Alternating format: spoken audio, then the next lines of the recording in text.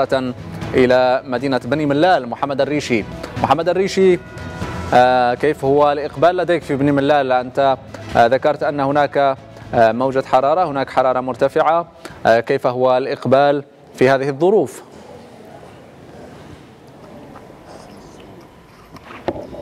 نعم محمد أهلا ومرحبا بك ومرحبا بمشاهدينا الكرام مجددا. إذا دائما نتواجد بجهة بني ملال خنيفرة. آه، أرقام المشاركة مشاركة المواطنين في هذه الاستحقاقات في ارتفاع متواصل في ارتفاع متواصل بطبيعة الحال. لكن هناك لقطات آه، تثلج القلب في فيما يخص بعض الأسر. التي تأتي آه، الأب والزوجة والأبناء كشباب يأتون في آه، إلى مقر مقر التصويت من أجل الإدلاء بأصواتهم.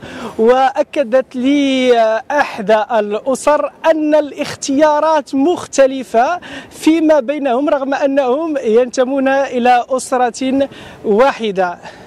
هذا في الواقع مثير آه، للإعجاب. هذه هذا الحس آه، المواطناتي آه، الراسخ لدى هذه الأسر التي تفضل أن تؤدي هذا الطقس الديمقراطي هذا السلوك المواطناتي الديمقراطي بشكل جماعي وأن تحترم لنقل الاختلاف داخل هذه الأسر. هل انتعش الإقبال لديك في المكتب الذي آه، توجد فيه. لا أدري إذا كنت قد غيرت المكتب منذ البداية أم ليس بعد.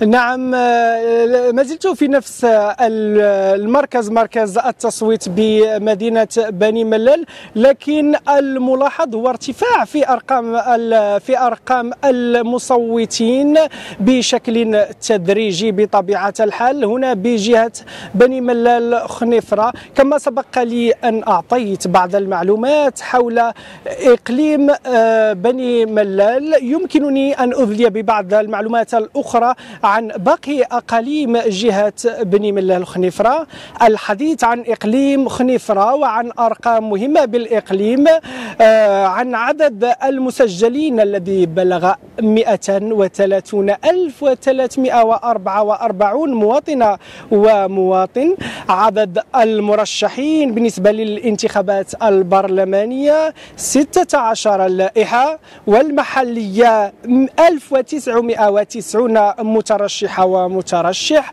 وكذلك بالنسبة للانتخابات الجهوية 15 لائحة.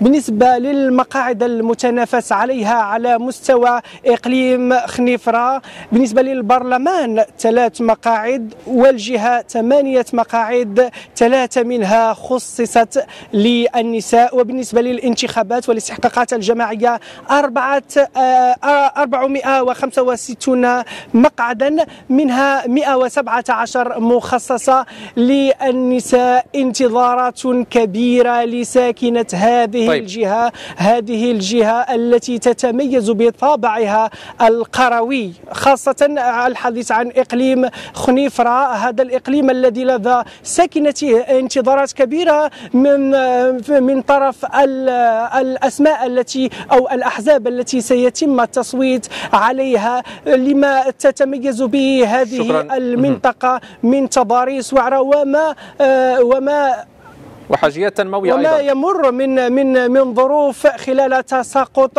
الثلوج. شكرا جزيلا لك الزميل محمد الريشي. حدثتنا من بني ملال وأنت أيضا تشير إلى هذا آه، هذا الانتعاش في الإقبال على آه، آه، مكاتب التصويت والإدلاء بالصوت.